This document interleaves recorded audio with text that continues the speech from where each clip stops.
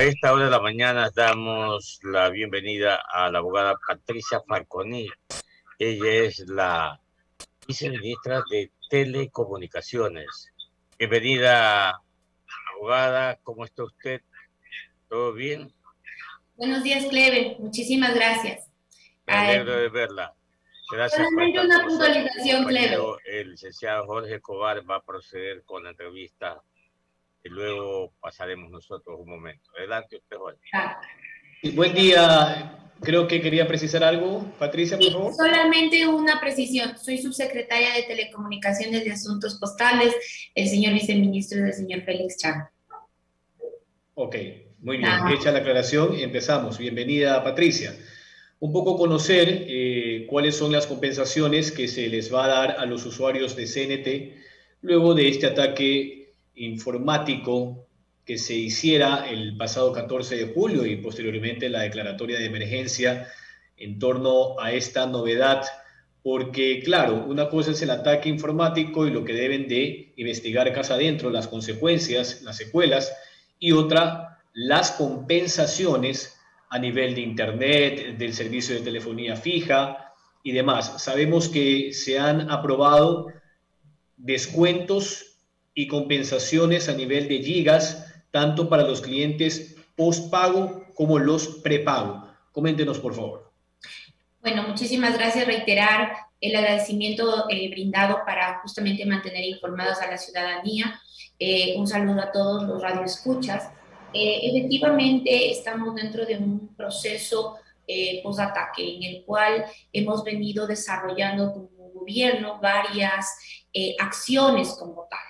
Em, los ecuatorianos deben estar seguros que desde el gobierno del encuentro, más allá de estar tomando todas estas acciones necesarias para fortalecer las políticas de ciberseguridad en el país y obviamente las de la, las de la empresa, eh, también estamos trabajando justamente en las compensaciones que, que menciona. CNT ha realizado eh, una, una campaña eh, un diseño de, compensaciones hacia los usuarios, a pesar de que los, servicios de telecomunicaciones como tal de CNT no fueron afectados en ningún momento durante el hackeo. Los servicios se siguieron prestando continuamente, no hubieron interrupciones eh, ni, ni nada por el estilo. Sin embargo, Obviamente esto ha afectado hacia los, hacia los usuarios y CNT ha desarrollado toda una estrategia de compensación hacia los usuarios en clientes postpago eh, a través de la entrega de una giga eh, durante un año, a los clientes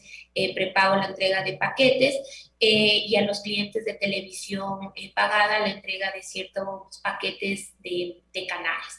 eso, el detalle, están dentro de las comunicaciones que CNT lo ha, lo ha venido realizando y que vendrá ampliando continuamente hacia la ciudadanía para que pueda ser entendido de manera correcta. Ahora, claro, usted señalaba que no hubo un perjuicio en torno a la provisión del servicio, pero sí hubo inconvenientes para quienes quisieron cancelar en su momento, no había sistema y esto, entendemos nosotros, es parte del argumento de la autoridad para generar estas compensaciones. Ahora, ¿la compensación es inmediata, es automática o debe de hacer algún trámite el abonado de CNT, Patricia? Eh, es correcto lo, que menciona, los detalles, la profundidad de cómo se va a hacer esta aplicación. Eh, CNT está por, emitir un comunicado, eh, son las autoridades de CNT a través del gerente general quien va a tener que dar una mayor profundidad de estas, de estas medidas. Nosotros a nivel de Mintel lo que hacemos es justamente las políticas públicas, poder eh, saber que los usuarios van a estar eh, compensados por las molestias causadas a través de la falta de, canales de pago y canales de recargo. Ahora, mi última inquietud por el tiempo, Patricia. Ustedes ya tienen un poco más de información sobre el origen de este ataque, de dónde se habría provocado eh, y las consecuencias potenciales en la base de datos de CNT. Las investigaciones continúan, eh, como ustedes saben, este es un proceso que está inclusive eh, dentro de Fiscalía. Eh, algo que hay que puntualizar muy bien es que nosotros a nivel de CNT tuvimos un ataque cibernético, más no una vulneración a la base de datos per se de los, de los usuarios. No, no ha existido una evidencia de una filtración de datos personales. Eh, se continúan las investigaciones, justamente uno de los pilares eh, en los que se está trabajando es en una auditoría a nivel de profesionales eh, internacionales altamente capacitados, justamente para poder em, determinar cuáles son las mejores acciones o controles que se van a tener que implementar dentro del CNT. Muchas gracias. Economista. Para el público oyente, la abogada Patricia Falconi también es experta en tributación. Pero además de esto, ella tiene mucha relación y estado en en el, en el entorno de las telecomunicaciones. Quiero decir que no es por primera vez o recién está tratando el tema de las telecomunicaciones. Ella viene, ella viene con experiencia. En ese orden, yo quisiera consultarle lo siguiente. El Ecuador, el gobierno ecuatoriano, está ávido por entregar en administración CDT, es probable que haya una opción de venta o es probable que definitivamente no se decida ninguna de las dos estas opciones y se vaya por la administración del el mismo ministerio. ¿Qué es lo que debe de preocuparle al Ministerio de Telecomunicaciones? Es, ¿será que hay un boicot? ¿Será que alguien está con la predisposición que el, el costo el activo baje, se deprecie? ¿Será que está con el objetivo de que la imagen de CNT eh, baje y tantos y tantos perjuicios que puede provocar, podría provocar este, esta situación anómala denominada hackeo. ¿Ustedes qué evaluaciones han hecho al respecto?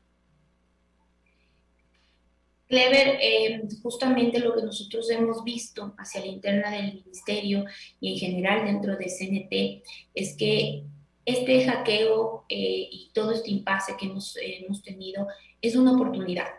Es una, una oportunidad no solamente de mejoramiento en cuanto a temas de procedimientos, que pudieron haber estado eh, no tan actualizados, así como también del mejoramiento en cuanto a temas de tecnología. Eh, como ministerio, a más de las políticas públicas en materia de ciberseguridad, estamos trabajando justamente en políticas generales globales no solamente para CNT, sino para el, el, sector como tal, para que el sector se dinamice, mejore y demás. Eh, hoy en día nosotros tenemos que trabajar fuertemente, CNT tiene que trabajar fuertemente y, una de las de, de, sus estrategias es justamente poder llegar hacia el usuario a través de este tipo de compensaciones para ir eh, desarrollando nuevamente esta confianza eh, con el usuario. Eh, CNT va a tener que emitir y está por emitir también algunos comunicados al respecto, pero básicamente esto es una, una oportunidad de crecimiento, de mejora hacia la interna de la empresa para tomar las medidas necesarias para que en caso de que este tipo de, sucesos vuelva a ocurrir, eh, tengamos una mayor capacidad de reacción. Recordemos que este tipo de, ciberataques son continuos. La tecnología justamente eso es lo que, lo que hace. Eh, ninguna empresa, ninguna institución pública esté exenta de este tipo de, ataques. Lo que sí es importante es que cada institución, sea pública o sea privada, esté preparada para este tipo de, ataques. Creo que le voy a hacer esta consulta. Si usted puede, me la contesta. Si no, no tengo problemas. Porque son dos, dos preguntas muy concretas. La primera, está pensando en una reforma a la ley de a la ley orgánica de telecomunicaciones. Primera pregunta. Y segunda pregunta, ya hay eh, petit comité o la idea de los diálogos para las renovaciones con las operadoras para el próximo año que vencen sus plazos. A ver, eh, sobre el tema de la ley orgánica de telecomunicaciones, eh, evidentemente la ley tiene algunos, ah, algunos componentes que tienen que ser trabajados. Eh, una de las temáticas que la señora ministra ha mencionado y que están de cara a todas las acciones que han venido realizándose a través de reducción de aranceles, la modificación del propio decreto para el reglamento de la ley de telecomunicaciones, eh, se está trabajando en, un proceso de, reformas, eh, todavía es, es algo que, que, se está manejando. Frente al tema de las, de las renovaciones de las concesiones, es un trabajo que igual tiene que ya ir iniciando eh, y eso está a cargo de, de Arcotel, evidentemente, que es el, el, órgano competente para realizar estas. estas... ¿Quién está a cargo? Arcotel la regulación y control de las telecomunicaciones. Muy bien, mi estimada abogada Patricia Faconi, le deseamos éxito. Ojalá que se resuelva este asunto, pero en buena hora ustedes hayan tomado la decisión de compensar a los usuarios de CNT. Que le vaya muy bien. Muchísimas gracias por el espacio. Un buen día.